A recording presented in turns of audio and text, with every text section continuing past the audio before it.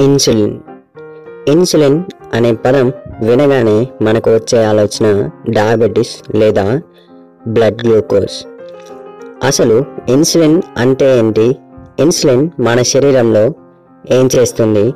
ఇన్సులిన్కి మరియు బ్లడ్ గ్లూకోజ్కి సంబంధం ఏంటి? ఒకవేళ ఇన్సులిన్ మన శరీరంలో లేకపోతే ఏం జరుగుతుంది? డయాబెటీస్ ఉన్నవారు ఇన్సులిన్ని ఎందుకు తీసుకోవాలి? తీసుకోకపోతే ఏం జరుగుతుంది అనే విషయాల గురించి ఈ వీడియోలో తెలుసుకుందాం.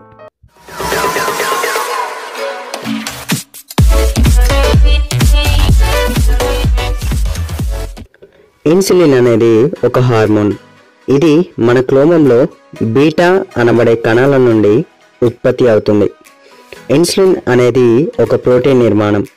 ఇది రెండు అమైనో యాసిడ్ చైన్స్ని కలిగి ఉండి డైసల్ఫైడ్ బంధాలతో ఉంటుంది.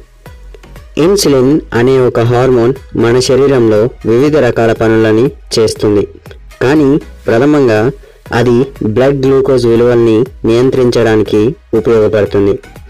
మనం ఆహారం తీసుకున్న తర్వాత మన చిన్న ప్రేగులో ఆహారం అంటే గ్లూకోజ్ రక్తంలోకి అబ్జర్వ్ చేయబడుతుంది. ఇలా గ్లూకోజ్ రక్తంలోకి చేరాక మన రక్తంలో అధిక గ్లూకోజ్ విలువలు నమోదవుతాయి. ఇలా అధికమైన గ్లూకోజ్ విలువలు క్లోమం నుండి ఇన్సులిన్ విడుదలను ప్రేరేపిస్తాయి. దీనితో ఇన్సులిన్ విడుదల అవుతుంది ఇలా విడుదలైన ఇన్సులిన్ మన శరీరంలో లివర్ మరియు కండరాలను ప్రేరేపించి ఆ అవయవాలను గ్లూకోజ్ని గ్లైకోజన్గా నిల్వ చేయడానికి ప్రయత్నిస్తుంది. ఇలా ఇన్సులిన్ గ్లూకోజ్ని గ్లైకోజన్ రూపంలో నిల్వ ఉంచి అవసరమైన సమయంలో రక్తంలోకి తిరిగి గ్లూకోజ్ని విడుదల చేస్తుంది.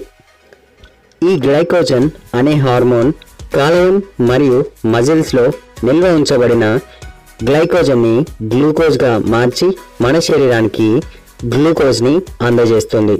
ఇన్సులిన్ మరియు గ్లైకోజన్లు ఒకదానితో మరొకటి క్రమబద్ధీకరించుకుంటూ మన రక్తంలో షుగర్ లెవెల్స్ని ఒక నిర్ణీత స్థాయిలో ఉండేలా ఉపయోగపడతాయి.